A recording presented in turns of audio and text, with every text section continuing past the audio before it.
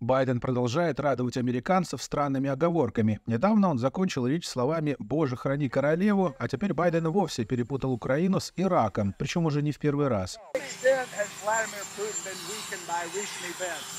It's hard to tell, but he's clearly losing the war in Iraq. He's losing the war at home.